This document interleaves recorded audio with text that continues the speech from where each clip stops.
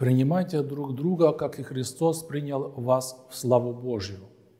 Разумею то, что Иисус Христос сделал сослужителем для обрезанных ради истины Божьей, чтобы исполнить овещанное Отцам, а для язычников из милости, чтобы славили Бога, как написано, «Зато буду славить Тебя, Господи, между язычниками, и буду петь имени Твоему». И еще сказано, «Возвеселитесь, язычники, с народом Его». И еще, «Хвалите Господа, все язычники, и прославляйте Его, все народы». Исаия также говорит, «Будет корень Иисеев, и восстанет владеть народами, на него язычники надеяться будут. Бог же надежда да исполнит вас всякой радости и мира в вере, дабы вы, с силой Духа Святого, обогатились надеждою. И сам я уверен о вас, братья мои, что и вы полны благости, исполнены всякого познания и можете наставлять друг друга. Но написал вам, братья, с некоторой смелостью, отчасти как бы напоминание вам по данной мне от Бога благодати быть служителем Иисуса Христа у язычников и совершать священнодействие благовествования Божия, дабы сие приношение язычников, будучи освящено Духом Святым, было благоприятно Богу. Сегодняшний апостольский отрывок начинается со слов святого апостола Павла о том, что каждый из нас, если, конечно же, мы не по имени только христиане, но и по жизни, должен принимать своего ближнего, быть снисходительным к нему. Любовь к ближнему – это, в принципе, самое яркое доказательство того, что мы подлинно последователи Господа нашего Иисуса Христа. По словам святителя Златоуста, если мы любим ближнего, то нам не нужно ни трудов, ни подвигов, ведь любовь – это уже путь который сам собой ведет к добродетели. Как же мы должны любить ближнего? В Евангелии сам Господь Иисус Христос отвечает на этот вопрос, как самих себя.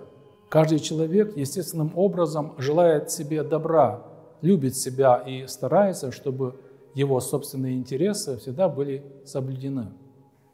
Каждый стремится к тому, чтобы все окружающие его люди приносили ему пользу. Это происходит вполне естественно для нас, и в этом нет никакого греха, если это не превращается в эгоизм, если человек не начинает жить только для самого себя, если, заботясь о себе, он не забывает и своих ближних. Также естественно и просто, как мы любим самих себя, мы должны любить друг друга.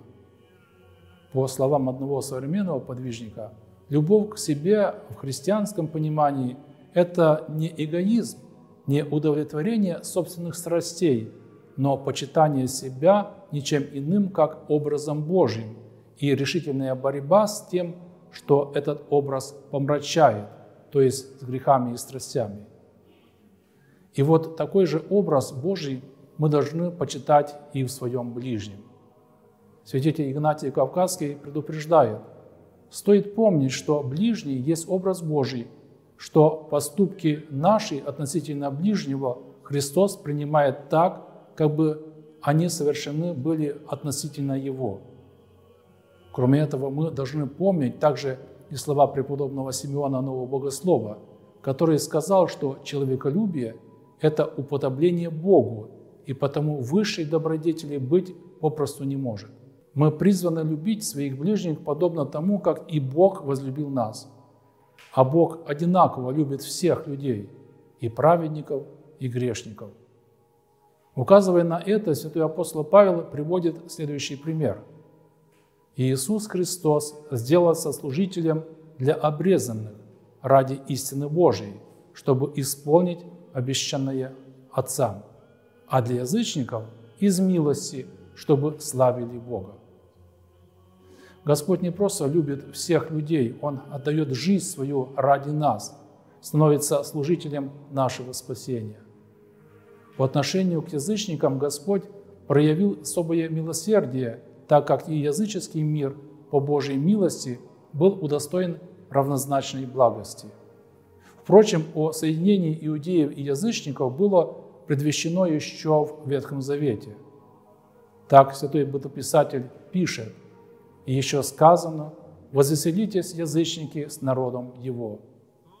Апостол вспоминает, что Исаия также говорит, «Будет корень Иисеев, и восстанет владеть и народами, на него язычники надеяться будут». Знание именно эта истина. Истина о том, что каждый человек может спастись, вселяет в наши сердца надежду. Так святой апостол Павел замечает, «Бог же надежды да исполнит вас всякой радости и мира в вере, дабы вы силой Духа Святаго обогатились надеждою». Преподобный Исидор Пелусиот поясняет, «Надежда на Бога – незыблемый столб, не только обещающий избавление от бед, но не допускающий смущаться бедами уже постигшими.